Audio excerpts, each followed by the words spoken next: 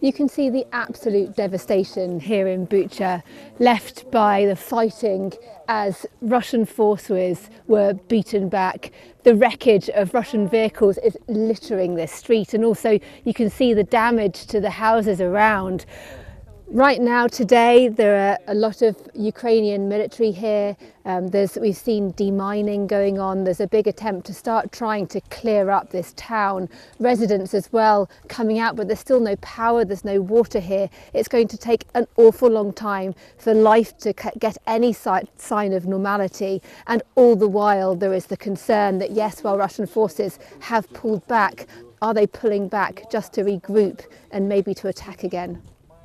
This is the street where a number of bodies were found just abandoned on the road. And we've been talking to a few residents from that apartment block over there. And we, just found them standing in the street.